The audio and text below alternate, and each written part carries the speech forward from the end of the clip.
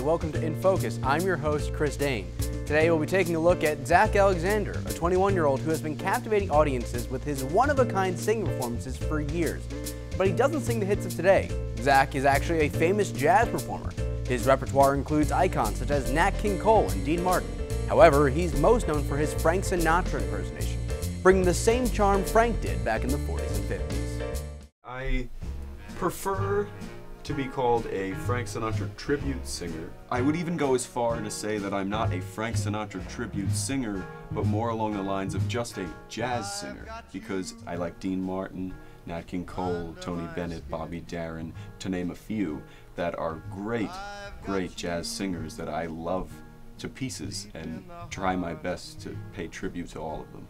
Hoboken Sinatra Idol is a competition that is put on once a year around June in Hoboken, where Frank Sinatra was born and raised. I was fortunate enough to be accepted into the competition, and I sang I've Got You Under My Skin, one of my favorite Sinatra tunes, um, and I happened to win the competition with a perfect score, and I'm very proud of that. And it's one of my greatest achievements to win Hoboken Idol because now, not only do I call myself a jazz singer, but I actually have a physical award that I can say is credible and legitimizes what I do.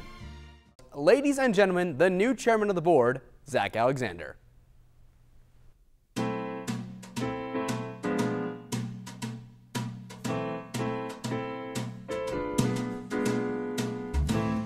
Fly me to the moon, let me play among the stars.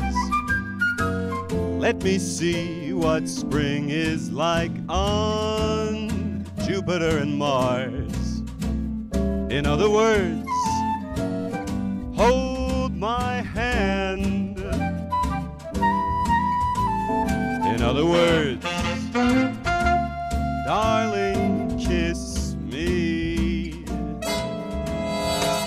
Fill my heart with song and let me sing forevermore. You are all I long for, all I worship and adore. In other words, please be true. In other words,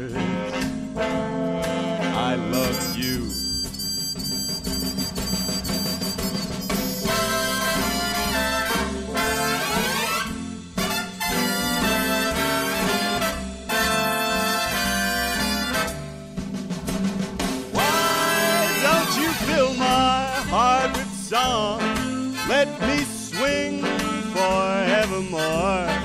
Because you are all I long for, all I worship and do adore. In other words,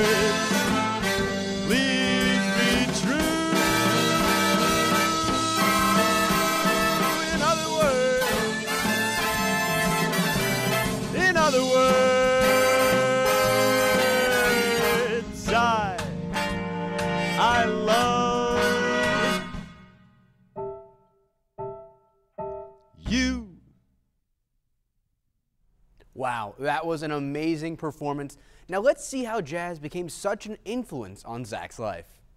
I'm from Red Bank, New Jersey. The great big band leader, Count Basie, is from Red Bank, so a lot of the culture around Red Bank is jazz oriented. My grandmother had a very heavy influence on me listening to music. The first time I ever heard Frank Sinatra was from her. She had a record and played it for me when I was about seven or eight. I really got involved in doing the research and finding older music, and that's really what got me hooked. It was all of these older movies that really made me look into it further and really try to find exactly what I like. And eventually I came across Frank Sinatra, and just that exciting time in history is what really made me connected and made it more real, the music, and why I felt more passionate about it because it was such an interesting story. And that's really what singing jazz is all about storytelling. So when when you sing jazz, you're really trying to evoke this story of emotion, whether it's a tale of woe or a tale of happiness. So jazz and big band swing have really played a lot in your life. But what do you think of the music of today? Being part of you know, the group known as Millennials, we have a very different take on music. So what is your opinion on that?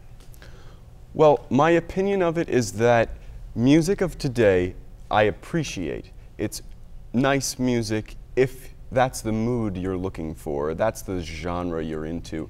Now, the message, however, I feel is much different than what it once was. I appreciate love songs with beautiful lyrics, real, real talent that goes into the creation of love music. And I'm not really a big fan of the immoral message that, you know, modern music creates. All right. Well, thank you so much, Zack Alexander, for joining us today. And thank you for tuning in on this week's edition of In Focus.